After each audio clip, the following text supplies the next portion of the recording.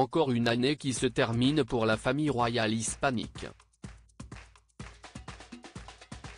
Laetitia et Felipe d'Espagne auront le bonheur de retrouver leurs deux filles Léonore, 17 ans et Sofia, 15 ans, pour passer de bons moments en famille durant les vacances avant qu'elles ne retournent à l'école. Une chose est sûre, famille ou non, Laetitia sera sûrement sur son 31 pour l'occasion. Comme à tout instant de l'année, la reine consort sait dévoiler ses talents en matière de style et de look et prouve qu'elle n'a besoin de personne à part elle-même pour se mettre en valeur. Rien ne résiste à Laetitia vêtements neufs, de créateurs ou pépites déjà portés, Laetitia d'Espagne sait allier mode, respect de l'environnement et hommage à la perfection. En toute occasion, l'ancienne journaliste est plus stylée que jamais.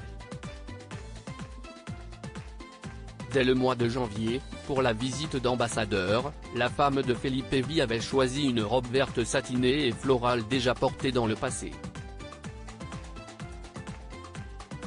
Deux mois plus tard, Laetitia laissait tout le monde stupéfait en apparaissant très sexy à la Fashion Week. Vêtue d'une robe immaculée très fendue sur chacune des jambes, la reine offrait une vue imprenable sur ses atouts non négligeables de son corps. Une grande première pour une tête couronnée, d'ordinaire soumise à un protocole vestimentaire strict. Ces règles justement, Laetitia ne les a pas enfreintes lors de la messe hommage au prince Philippe en mars.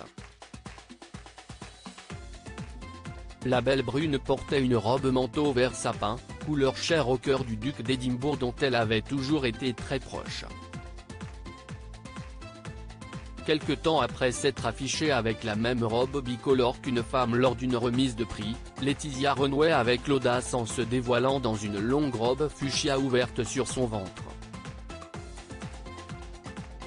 L'occasion de prouver qu'à 50 ans, Laetitia n'avait rien à envier aux plus jeunes.